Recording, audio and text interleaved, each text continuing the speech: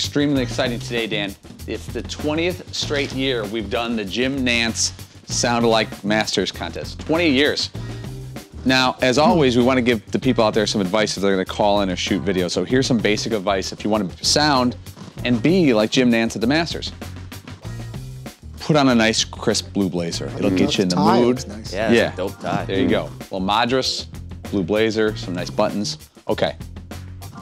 Be around a fireplace and maybe have a good view behind it of a golf course, but at least be near a fireplace like Butler Cabin. Dan, you've been there.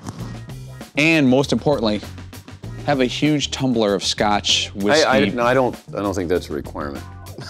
It's a suggestion. A tumbler. I don't think Jim has a tumbler of scotch. We're not accusing Mr. Nantz of anything.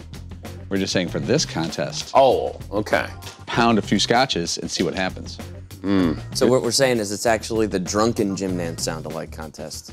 or or well lubricated Jim Nantz sound alike contest, however you want to play it. That's our advice. Maybe put a couple heaters. Mm-hmm. Really drop it down. Is that what they mean by a Scotch golfer? Oh, it's a Scotch golfer. Hey. The Dan Patrick Show, weekday mornings on Audience.